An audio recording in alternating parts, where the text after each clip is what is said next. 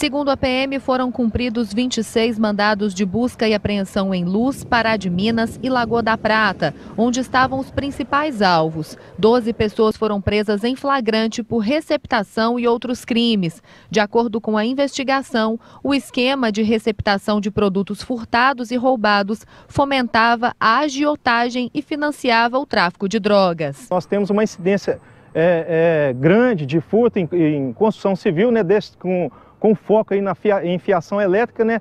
E pessoas envolvidas na receptação desse material, né? Que é o, é o pessoal que, que de fato aí, contribui né, para que essa, esse tipo de crime né, vem, é, é, continue ocorrendo em nossa cidade. Foram apreendidas armas de fogo, munição, veículos, uma grande quantidade de fios de cobre, mais de 60 mil reais e cerca de 1 milhão e 400 mil reais em cheques e vários outros materiais. A apreensão de dois revólveres e, e um, um valor expressivo no município de Pará de Minas e prisão, prisão em luz com apreensão de arma de fogo.